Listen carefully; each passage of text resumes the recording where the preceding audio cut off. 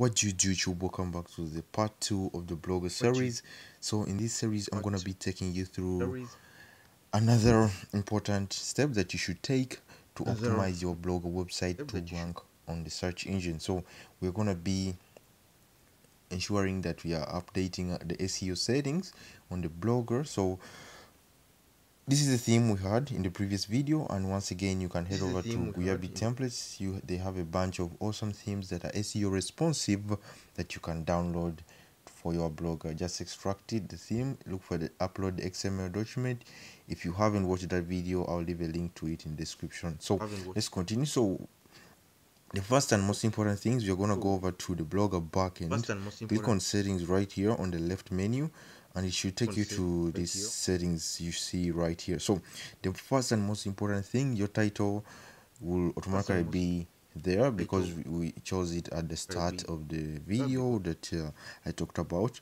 So the other thing we need to add we need to add description for your website. So the description is just telling google and uh, other search engines and people who are coming to your website about what you do your business or your or what you write about. So for this case you just type in here random uh, stuff. So you can say welcome to then you add your blogger url then you say here we talk about then add some keywords related to the niche that you chose in the previous video. So okay the keyword so for this example our niche is numerology. So we can talk about something like uh, numbers then we can talk about uh, life paths. Then we can talk about uh, numerology. All these are keywords that uh, lets the search engines and people know that your website is about these specific topics. So that is it. So go ahead and uh, write uh, something here it. Will so be i think uh, a hundred something words. And if your english is not uh, so good you can go ahead and download the grammarly.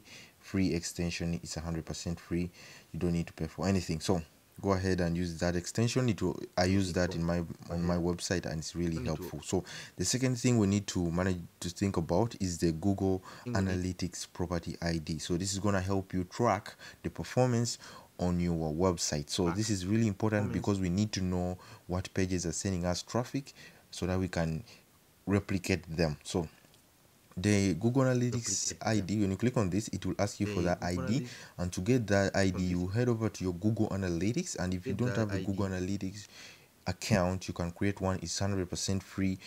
You can watch a bunch of tutorials but it's going to be straightforward. Just head over there look for google analytics. You'll find it. Then head over there and create an account. So ensure you're using the same email you use for blogger for google analytics and google search console as i'll explain later on in the video. So what you need to do in case so for me i already have a google analytics account so, so me, if you don't have, have one you head over there then you'll be able to create a new one. it's free. Just click in and sign in with your email. Then you will need to create a property. To create a property just then simply click on create a property. Your sc the screen you're seeing right now will be different. So just follow google the the basic tutorial you'll be able to learn on the same screen in just a couple of clicks. So what you need to do here is just to go ahead and uh, i'm gonna just call this a test so that we i can show you then um so, so that i can show you what you need to do. So um, to get that id so you. head over here where it says admin. so you can also access that down here if you are already logged in in your google analytics. So it will be a screen down there. It's that says uh, admin. So you go ahead choose your country. This is important because you need to get data from your time zone. so for me i'll go ahead and choose my country. So i'm going to choose canada. Then uh, the time zone. So choose your specific time zone. I'm gonna choose uh, where is it at? Dawson time let's go with that.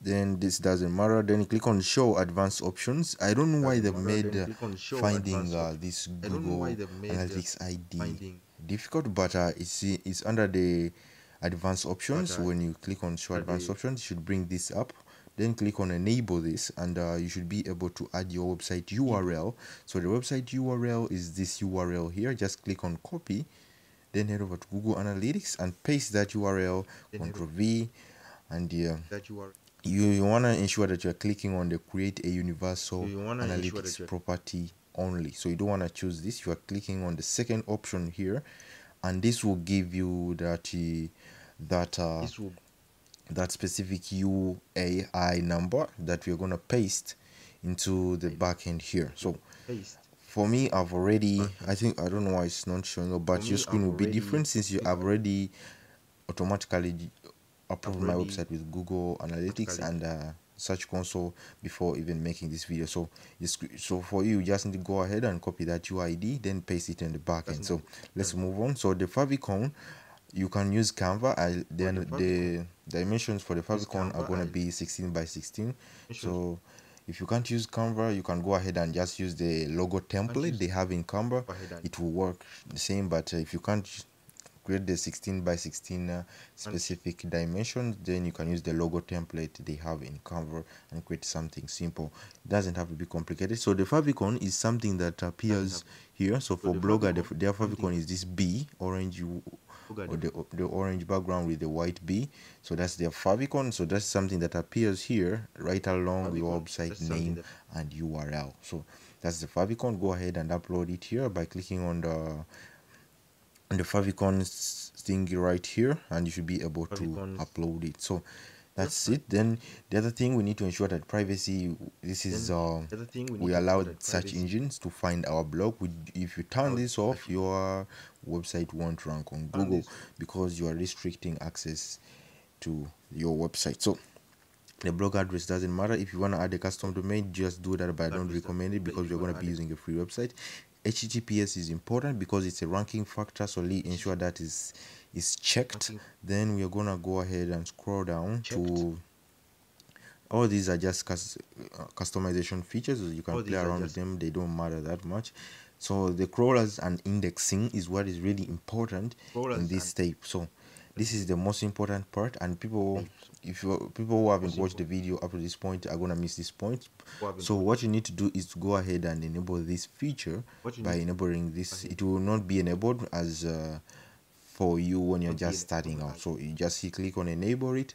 Then once you have enabled it it will ask you for the custom robots.txt um, file. So if you don't have that you will head over to labnol.org i'll leave a link to this website. It's free and i'm not an affiliate for this. It is free 100% free. They are a partner with google that allows uh, blogger websites to generate sitemaps and you will see in their sitemap they have a partner something like that that uh, allows google to approve their sitemap. So you just i'll leave a link to this. You don't worry. You don't need to worry about that. I'll leave a link to this so that you just click on it takes you to the website enter your url and uh, to generate a sitemap for you. It doesn't matter whether your website is new and uh, that is it. So we have already added so you just paste that uh whatever that whatever the, the website gives you paste it here and click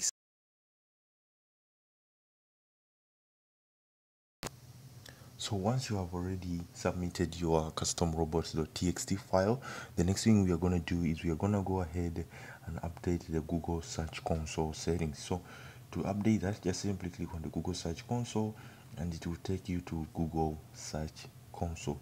So what you need to do here is you just need to create a google search console as account and then uh, connect your blog or website. So for this for this example i've already connected this but uh, it will ask you for a specific link and that's the link to your blog or website. So if you don't know how to do that it's really simple. Just head over to google search console then add your url which will be the blogger dot blogspot whatever your niche is dot blogspot.com then click continue and it will automatically confirm that because they are, they are, it is an affiliated product. So that is easy and it will not take you any time because we're going to be using uh, google search console to submit our urls for indexing. So that's why this step is really important and you must ensure that you have this out of the bag as soon as possible. So the other settings here are useless and you, you can settings. just feel free to play around with them. But the next thing you're going to do is you're going to head over to our website. So as you can see we, the website here looks uh, empty and we don't have any content on it but i'm going to show you that in the future videos on how to find us the specific articles to add on your website the first 20 articles on how to find them. And these are going to be low competition so you rank easily in no time. So what you're going to do here you're gonna head over to the socials here. So if you click on the socials. here you can see that uh, these socials are leading to the social medias of uh, this specific uh, template owner so we need to change that. So what we're going to do is we're going to head over to facebook and create uh, a facebook page. So this is going to be your personal facebook page for your specific uh, blogspot.com website. So you go ahead create a page head over to reddit create an account. With reddit then you head over to pinterest create a pinterest uh, business profile and instagram. So remember the social the social media platforms you're using here are the ones that make sense for your niche. If your audience does not appear is not represented on a specific social platform then don't uh, don't don't add uh, this this social plugin here so what you need to do is to delete all the social media platforms that are not relevant to your specific niche. So for my example this is a numerology niche. It would work well on instagram and uh, pinterest even facebook because they are facebook groups so i can join a couple facebook groups that way. So reddit has a couple of subreddits related to numerology so it will make sense. So I hope you get the idea of the social media plugin. So, what we're gonna be using these social media plugin, these social media platforms for is we are gonna be doing simple social media marketing, and this social media marketing enables our content to rank on Google by just using the power of social media. If something is ranking on Google and uh, is being shared on social media then that means that's a good piece of content so we're going to be using that strategy and i will explain that in the next video on how to optimize your specific social media platform. So stay tuned for that and subscribe if you're new. And this is to do it for this video. So go ahead and take uh, action on this part two of this series. So that is it